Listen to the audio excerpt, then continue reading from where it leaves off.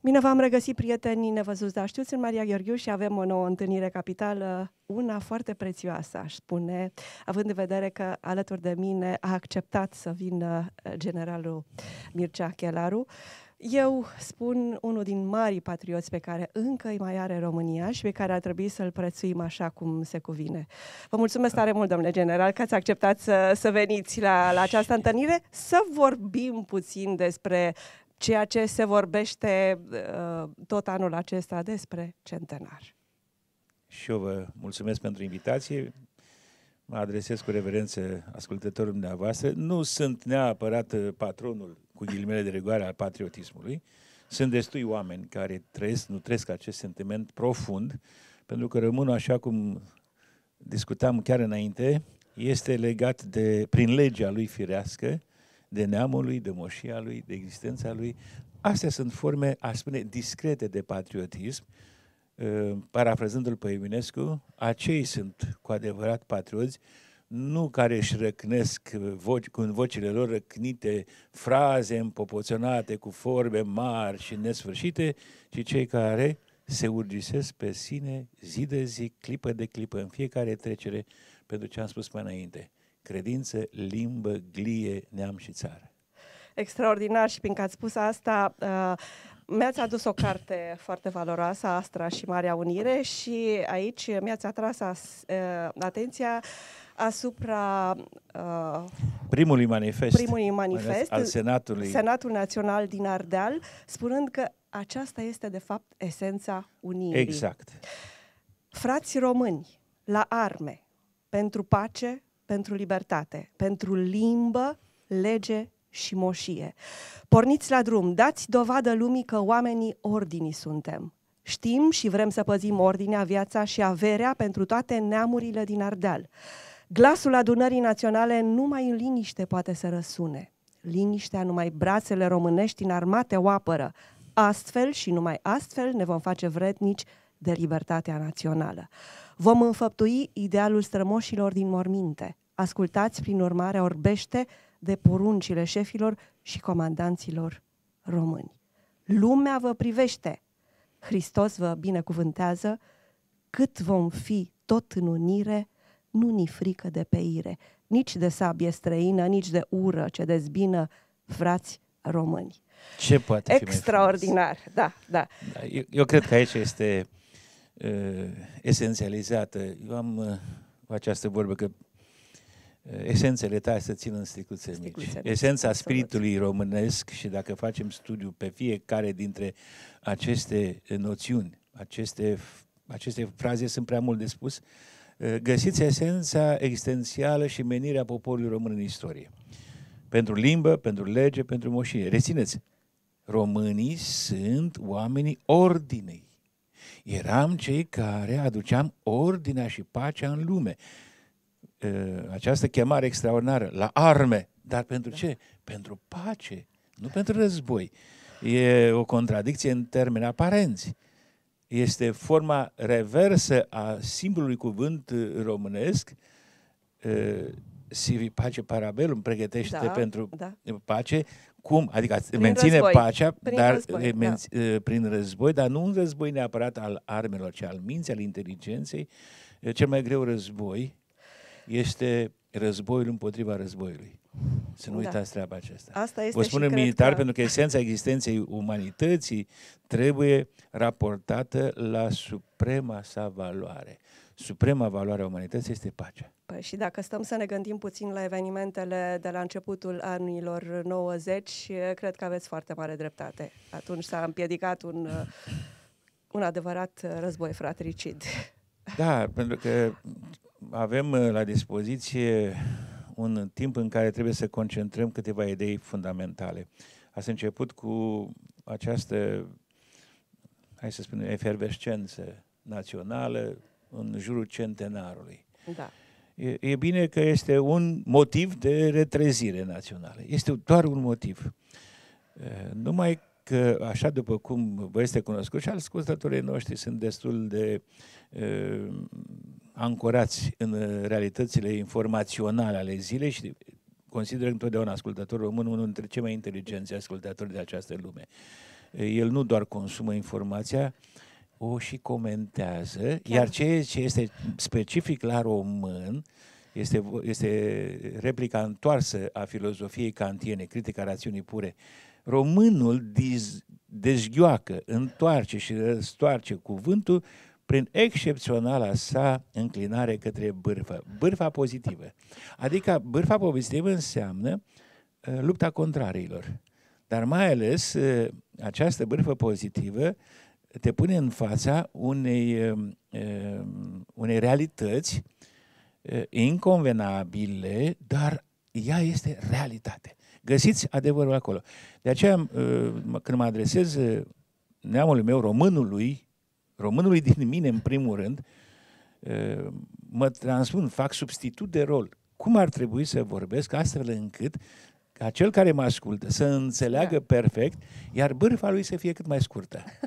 Cam da. așa da. vine. Acum, chiar faptul că românul ascultă este o formă de inteligență, că ascultă postul de radio, că își dorește să fie informat, vi se pare și asta o formă da, de este, inteligență. este aprig da. căutător de cunoaștere. Asta este forma general valabilă da. pentru neamul nostru, că dacă nu era uh, la zi cu ceea ce se întâmplă, nu spun chiar la zi, oricum, în tema epocii sale, n-ar fi avut, cum spunea Iorga, simțul istoric.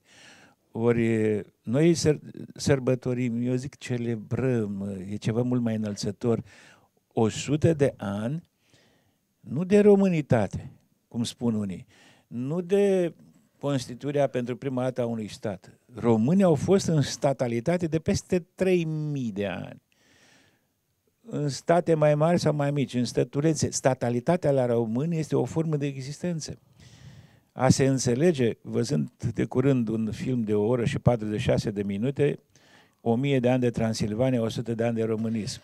Este o jignire colosală la adresa istoriei noastre, dar îi las pe alții să caute și să comenteze cu bârfa sublimă românească, să comenteze aceste inepții, de fapt, inepția este prin concluzie, nu prin desfășurarea evenimentelor.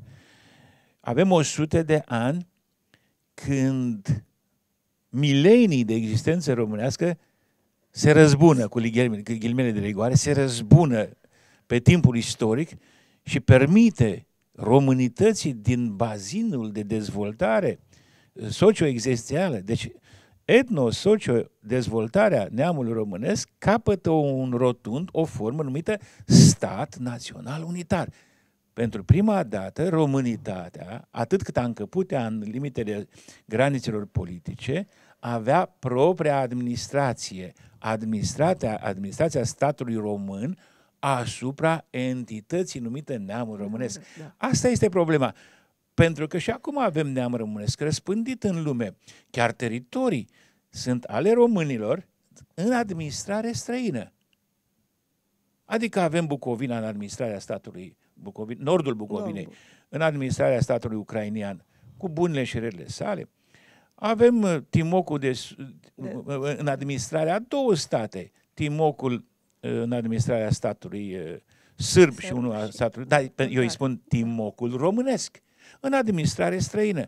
Așa sunt istoria și așa sunt vremurile, dar noi nu trebuie să uităm esența.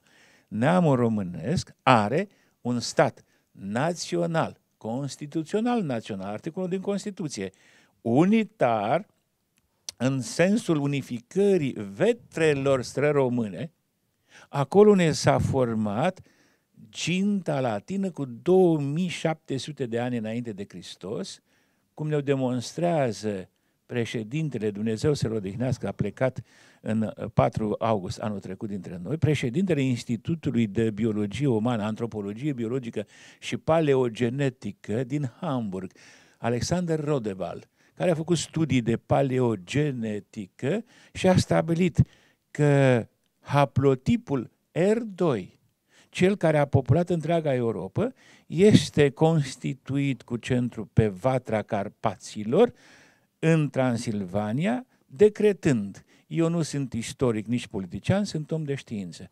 Aici este vatra gintei latine cu 2700 de ani înainte de Hristos. De fapt, ce înseamnă asta? ADN-ul dintr-un anumit os găsit aici, cel mai adânc în timpul istoric, a fost identificat ca atare, uh, cum se spune, de iure ereditare pro bono al pământului din care s-a născut. Așadar, este un prim răspuns. Celebrăm 100 de ani în care românii sunt un pumn, aducem aminte în acest sens că noi nu ne-am născut odată cu 1918, că suntem în adâncul timpului, îi spun, în fântâna fără de sfârșit a timpului. Cineva m-a întrebat, uh, comparativ cu alte istorii altor uh, zeminții, da, unii își caută rădăcine și săpând la 2-3 metri, deja nu se mai recunosc. Eu când am început să mă duc uh, după rădăcini, nu le-am găsit. Era încă trunchiul Era? adânc. Știți unde le-am găsit? Pe partea aia alta a globului. Dăduseră firișoare pe partea cealaltă a Pământului. Extraordinar.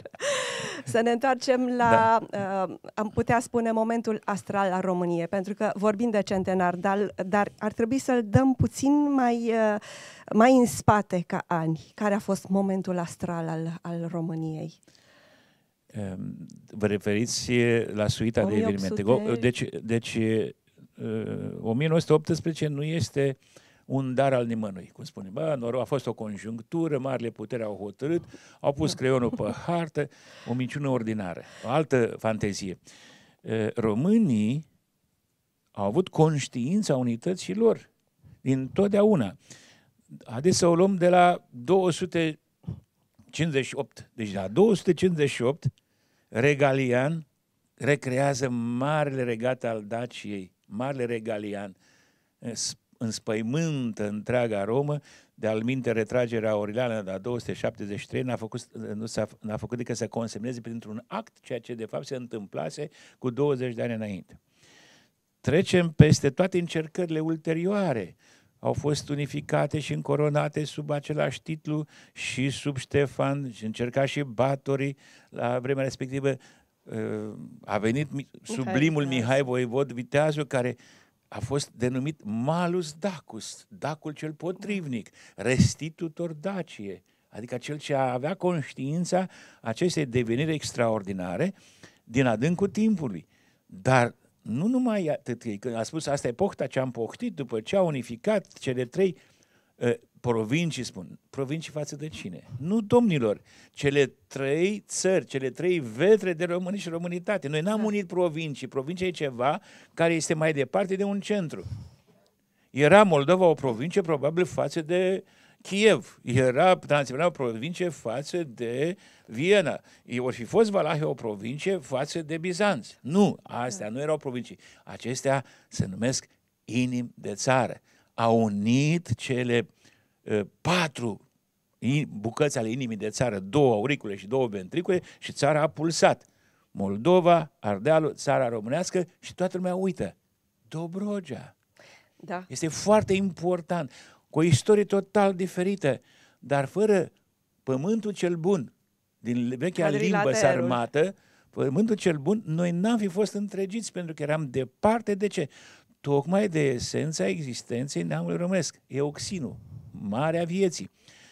Apropo de cadrilater, inima da. de la da. Balcic, pe care da. mi-a o cânt atât de frumos, și mi-aduc aminte că am asistat chiar la lansarea ei în Balcic, acolo, da. când am pus statuia reginei la Balcic. Oferta Ligii Culturale Române pentru statul bulgar să o aibă pe regină acolo. Da. Sculptura Făcută oferită de domnul profesor, domnul profesor Victor Crăciun, după uh, autenticul, pe originalul Miliției Pătrașcu. Miliția Pătrașcu, care știți foarte bine, a fost uh, urmașa, discip, discipola lui Brâncuș, Brâncuș da. și ea a turnat chipul cu câteva luni, cu două luni de zile, trei luni de zile înainte de a, de a se sfârși.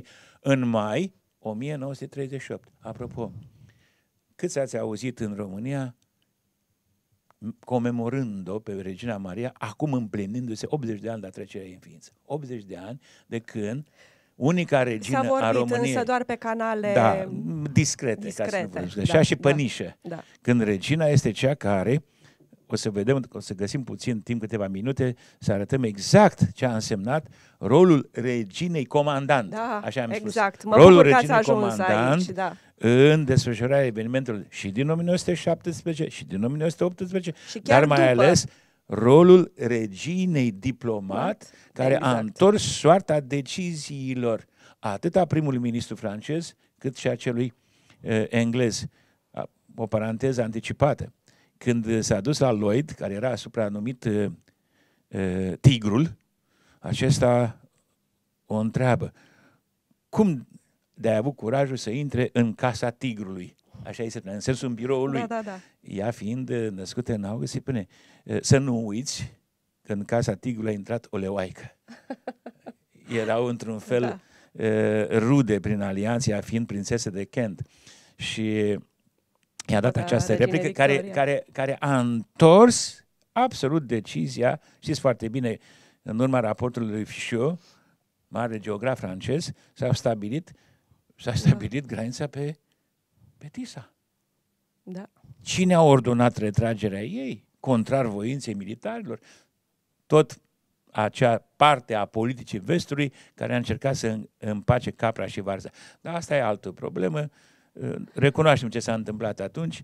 Respect hotărârea Trianonului, o respect pentru că, zic eu, a semnat actul de naștere a primului stat modern ungar. Poate o să se înțeleagă și ei de ce trebuie respectat Trianonul. Păi nu existau până atunci. În 1526, după bătălia de la Mohaci, când i-a desființat uh, Magnificul, ei n-au mai avut stat. Au fost făcuți pașalâc.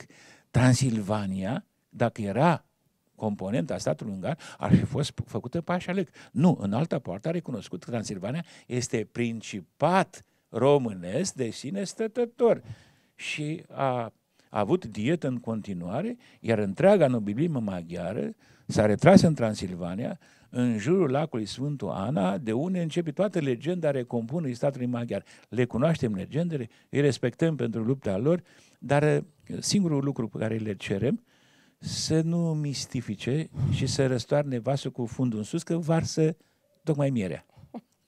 Da, să ne întoarcem la 1918 și faptul că, uh, contrar uh, tuturor așteptărilor, uh, totuși s-a întâmplat un lucru extraordinar, faptul că începuse Revoluția Bolșevică și uh, Lenin spunea că mm, de, de dreptul popoarelor la autodeterminare a făcut ca Basarabia să se întoarcă uh, la România. Dacă am merge pe ipoteza asta de lucru, vreau să vă spun că Basarabia n-ar fi fost în România niciodată. Dreptul la autodeterminare declarat de către uh, cuplul Lenin-Trotsky nu făcea altceva decât să energizeze, să producă energia fostelor gubernii țariste, Țariste. așa, uh, în autodeterminare în sensul căpătării identităților, acceptării conducerii bolșevice, pentru că ținta finală a fost Uniunea Sovietică. La ceea ce n-a renunțat și uh, s-a văzut replica în 40. Să nu ne da. amăge. De ce? De ce doar Dar a existat Basarabia? acel Da. moment care a fost exploatat. Da. Da. da, și toți s-au dus la, mă rog, Uniunea Sovietică și s-au au făcut marele uh, Consiliu Mariu Soviet. A murit în 24. Lenin, ca al minter, nu știu ce s-ar fi întâmplat. Avem studii de caz și am făcut, într-adevăr, o simulare a scenariilor în caz că Lenin trăia mai mult. În fine, nu este tema noastră de, de astăzi. Problema este că Basarabia, la acea vreme, prin acele sfaturi, sfatul oștenilor, fa- sfatul profesorilor, pe, pe tipuri de profesii, a breslelor, a învățătorilor, a preoților, toți și-au dat seama că trebuie să se adune. Nu uitați că în, a- în Imperiul uh, Țarist, în armata dezmembrată, și nu numai acolo, bolșevismul a cuprins toate armatele, și cea austriacă, și cea germană. Uh, Singura care n-a, n-a avut parte de așa ceva a fost armata regală română. Și o să revenim asupra ei. Da, da, și chiar Ei, mareșalul în- spunea la vremea respectivă, atenție la pericolul bolșevic. Bineînțeles, Da, da, la, da. Acea, la acea vreme Era era, era locotenentul... capitan sau- e- Nu, nu. nu, în uh, 1917 Da. era, uh, da, era capitan, Era era, capitan, era da. șeful uh, biroului operații în uh, cadrul Armatei de Nord sub comanda lui Prezan. Și îl atenționase pe Prezan. Am, da, da, nu numai atât. Nu era problema că el era Mesia. Se înțelegea treaba aceasta, dar revenind, sfatul militarilor români adunați de la Odessa, care s-au întors în țară și a reprezentat o forță extraordinară în sprijinul ideii de uh, crearea statului moldovenesc. Apoi uh, trebuie să vedem uh, forța organizatorică a unor oameni de la Ianco de Flondor și, dacă vreți, termin cu Buzdugan, care a fost președintele primului sfat, apoi sacrificiul acoperitor, diplomatic, formidabil al Mare Ghiloman, care a acceptat să rămână sub ocupația germană după pacea de la uh, Buftea București, care am, am capitulat pierdut, da. în, în martie, aprilie, mai 1918, România a capitulat. Da. Asta a fost. Ei, acest om a reușit sub această formă să preia uh, hai să aspirația, a prezidat sfatul țării din 27 martie 1918, când s-a dat acel act de unire pe vecie a Basarabei cu țara. Ei bine, în fiecare din, acest, din aceste momente de parcurs, revenind, de la Regalian, trecând, dacă vreți, prin cel care a sfârmat uh, uh, conducerile bizantine, mă refer la Fanarioți, cel ce, da. ce și-a pierdut trupul într-o fântână, Tudor Vladimirescu, măritul domn Cuza, unificatorul și făcător de legi pământene da. moderne. Ă, mergem sub Carol, cel care a reușit să aducă alături de uh, alți confrați independența românilor. În ce sens independență? Adică neatârnarea față de poartă, pentru că primul semn al neatârnării față de poartă. Știți când a fost?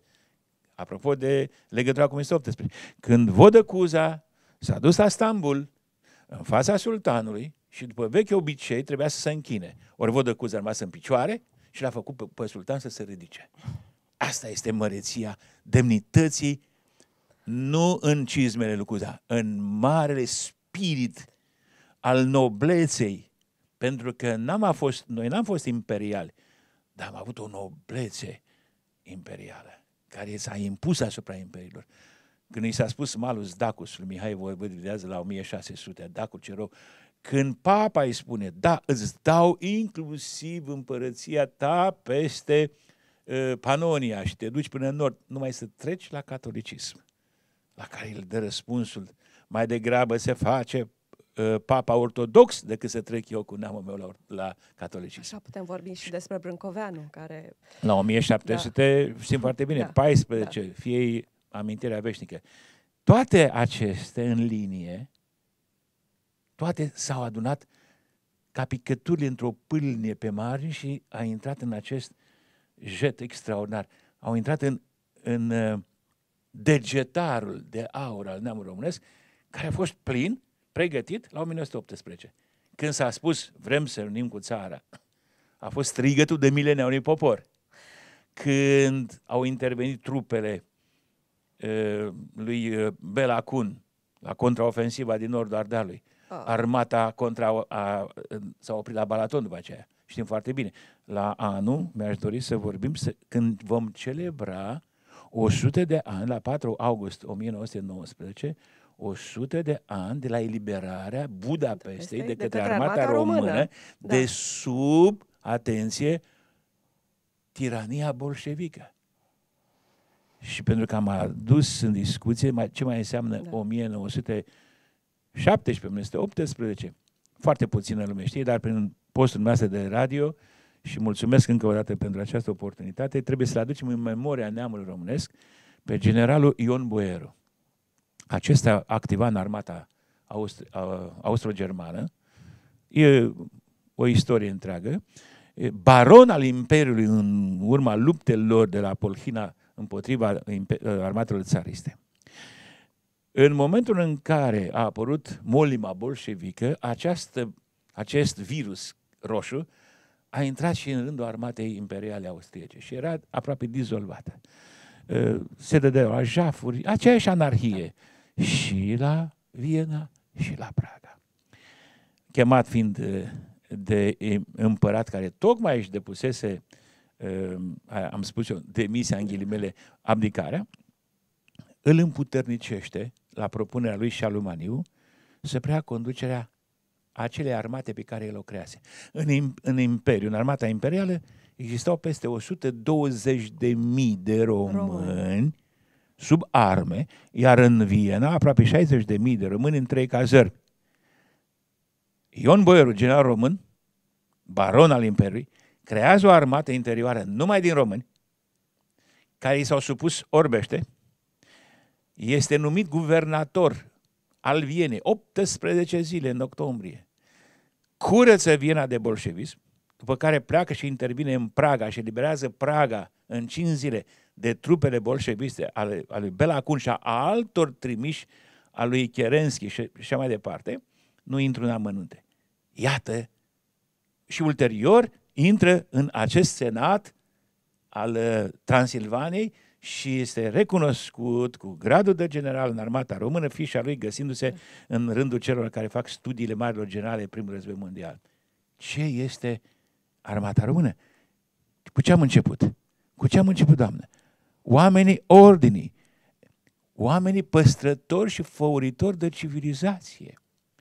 Dacă nu era acest moment extraordinar, această educație, această genă străromână a credinței în Dumnezeu, în neam, în adevăr, în libertate, Europa centrală la acea vreme devenea bolșevică. Iată că 1918 înseamnă prezența de neuitat, chiar dacă din orgoliu, ei nu vor să o recunoască, sau o trec da. la uh, uh paranteze sau la subsol. Dar cu litere mici, așa să nu se vadă prea tare. Armata română este păstrătoarea civilizației liberale în centrul Europei și dacă nu se făcea acest lucru, cred că uh, aveam uh, Uniunea Sovietică aia la altă pe malul Atlanticului.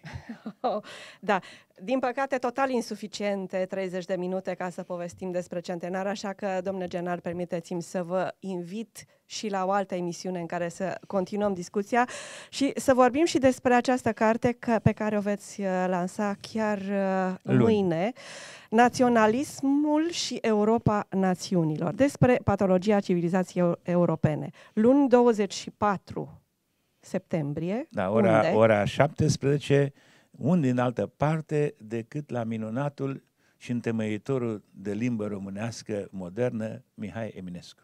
Da, vă mulțumesc tare mult pentru această primă discuție mulțumesc și vă așteptăm. Aveți atât de multe lucruri uh, a ne povesti. Nu, și dacă nu, nu poate acum... încăpea istoria eroică a unui neam în câteva cuvinte spuse de un muritor, chiar și fiind, a spune eu, expert în această problemă. Noi nu vrem să fim aici experți, vrem să fim transformatori din vorbele vremii în energii ale trăirilor prezentului. Mulțumesc încă o dată. Asemenea, la revedere. Be, be smart. Be, be cool. Be, be fresh. Be, be FM.